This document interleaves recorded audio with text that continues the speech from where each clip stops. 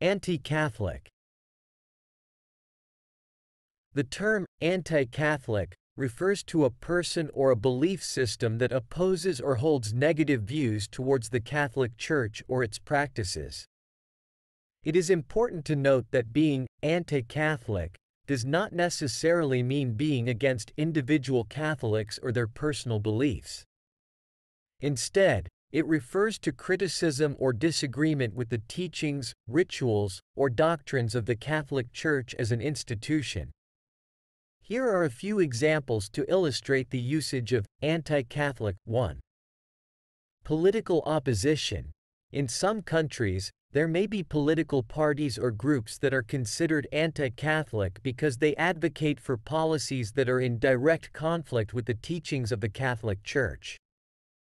For instance, a party that supports laws allowing abortion or same-sex marriage might be labeled as anti-Catholic by some.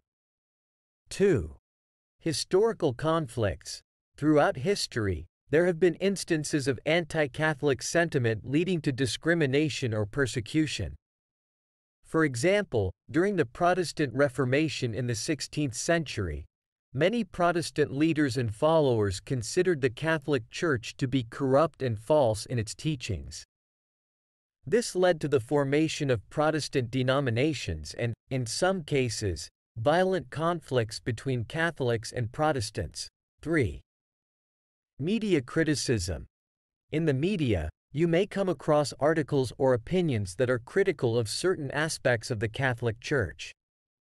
This could include discussions about controversial topics like the role of women in the Church, the handling of sexual abuse scandals, or the Church's stance on contraception. Such content may be labeled as anti-Catholic because it challenges or questions the Church's teachings or practices. It is important to approach discussions about religion with respect and understanding. While it is perfectly acceptable to have different opinions or beliefs, it is crucial to engage in constructive dialogue and avoid generalizations or stereotypes.